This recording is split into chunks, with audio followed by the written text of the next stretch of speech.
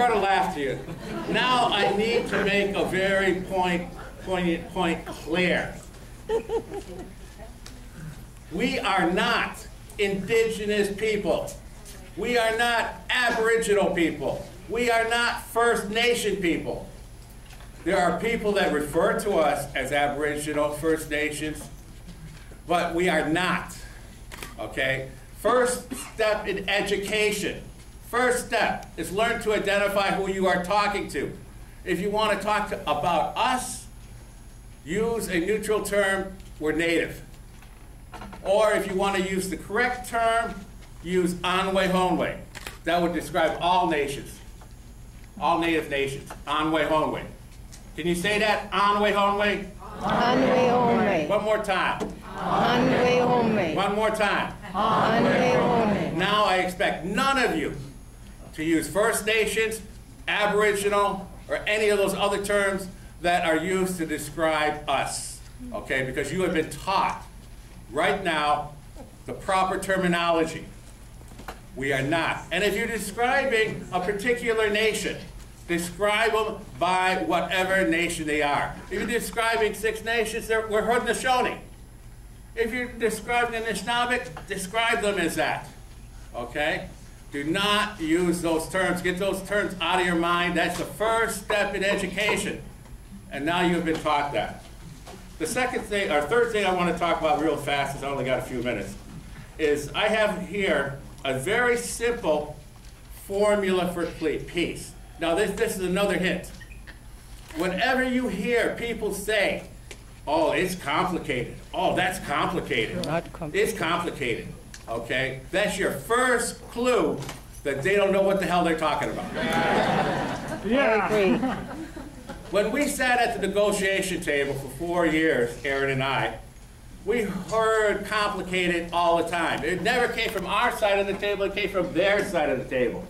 It's complicated, it's complicated. That's the first telltale sign that you know they don't know what the hell they're talking about. So that's an inside clue. Another thing is, very simple, this is a, what we, I refer to as a formula for peace. And it's very simple. It's built like a house. Treaties are the foundation of that house. Treaties are the foundation. Treaties supersede legislation. It has been proven in Ontario that treaties supersede provincial legislation.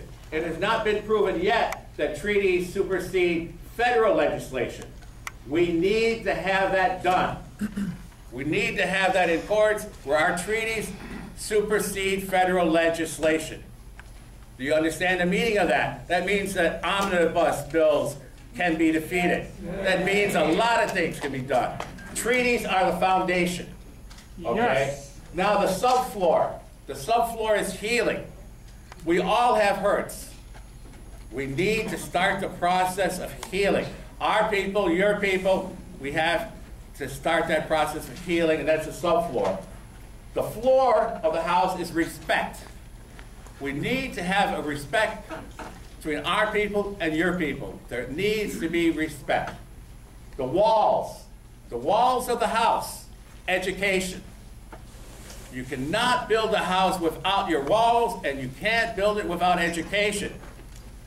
75, maybe 80% of you do not understand who we are as Haudenosaunee people.